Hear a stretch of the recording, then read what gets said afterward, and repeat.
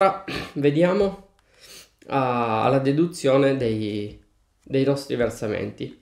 Quindi banalmente aderendo a un fondo pensione ottengo dei soldi gratis, parte dal datore di lavoro e parte dallo Stato tramite le deduzioni. Ho preparato uno schemino Excel per farvi vedere questa cosa qui.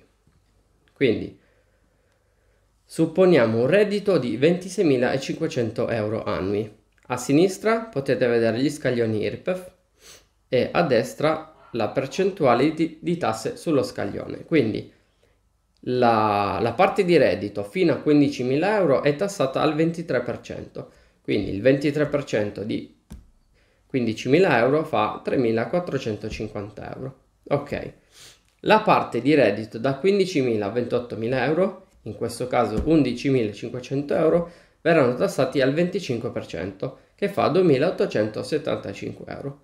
Quindi sul mio reddito in totale andrò a pagare 6.325 euro di tasse.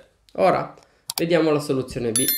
Abbiamo sempre lo stesso reddito, 26.500 euro, ma sottraiamo 1.500 euro di versamenti, un po' miei e un po' del datore di lavoro. Ora vediamo che il reddito imponibile è sceso a 25.000 euro.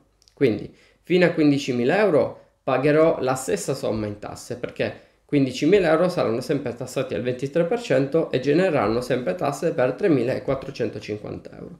Mentre il reddito che va da 15.000 a 28.000 euro è sceso, anziché 11.500 euro è 10.000 euro. Quindi il 25% di 10.000 euro fa 2.500 euro. Quindi in totale pagherò 5.950 euro di tasse, quindi avrò risparmio fiscale di 375 euro.